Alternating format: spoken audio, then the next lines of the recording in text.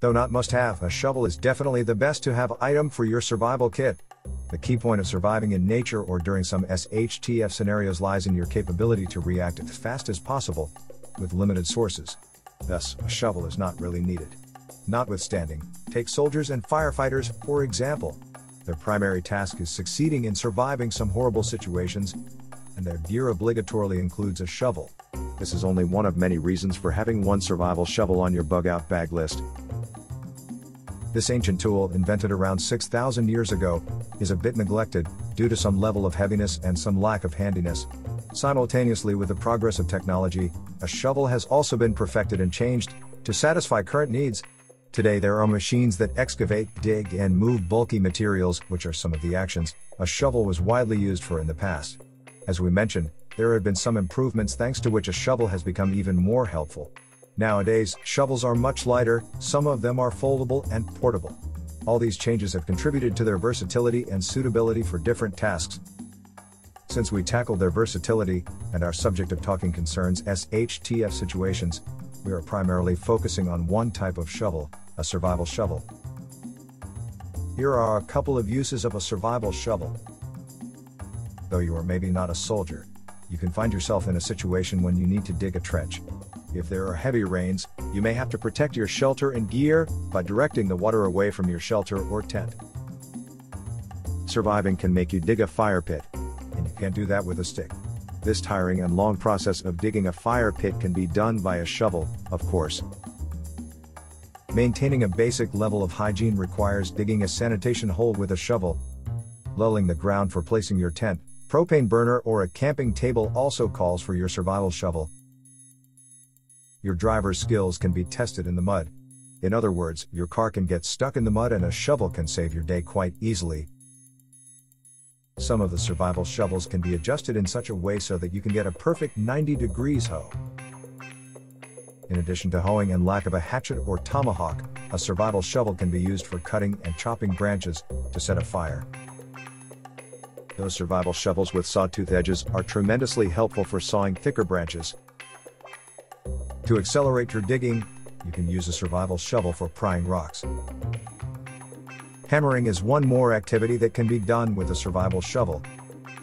Injured or stranded in the wilderness? To be heard and rescued, get your shovel for producing a loud emergency whistling signal. There are also situations when a survival shovel can serve as a self defense weapon. This can be an unexpected meeting with some aggressive wild animals.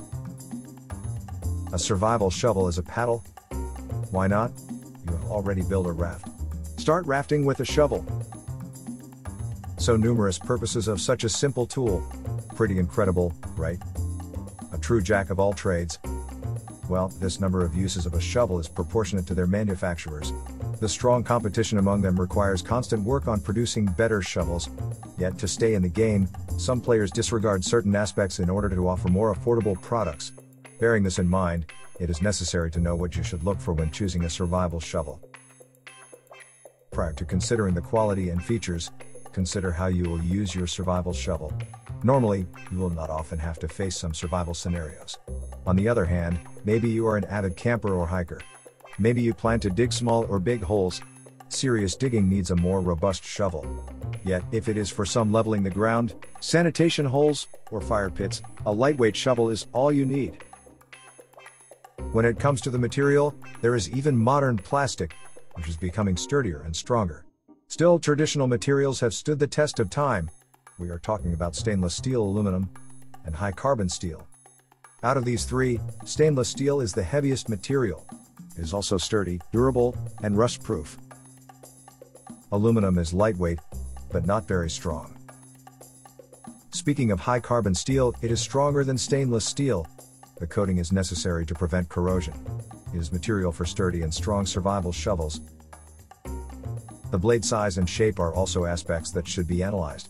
Moving gravel or sand can be easily done with bigger blade shovels. In the case of dry and hard soil, smaller blades are more convenient. Shovels with wide blades are suitable for moving the dirt, whereas shovels with narrow blades more excel in digging. You have probably seen pointed and flat shovels. In the case of survival shovels, only pointed blades should be taken into account. Shovel handles matter as well. Though it adds to the weight and affects portability, the longer the handle, the easier it is to use. Nowadays, producers offer foldable or collapsible handles that allow easy packing and carrying. Some models of handles act as storage locations for fire starters, LED lights, or other small tools. Among other essential features of your survival shovels, weight and portability are of tremendous importance. These two features enable easy carrying and use, particularly if you need to carry a shovel longer. The foldability of handles signifies easy packing. It is probably boring to hear one more time, but the versatility of a survival shovel has made it an effective tool for camping and survival purposes. The list of its add ons is longish. These amazing transformations of shovels from limited to almost limitless series of uses and their modern practical looks can activate you to make some additional space in your bug out bag or backpack. Saws, hoes, fire rods, compasses, whistles, bottle openers, screwdrivers, flashlights. All of these devices are practically incorporated in these survival shovels. This resembles those devices in James Bond movies. So why don't you afford the James Bond position and the feeling of preparedness and safety in SHTFs or some nice outdoor adventures,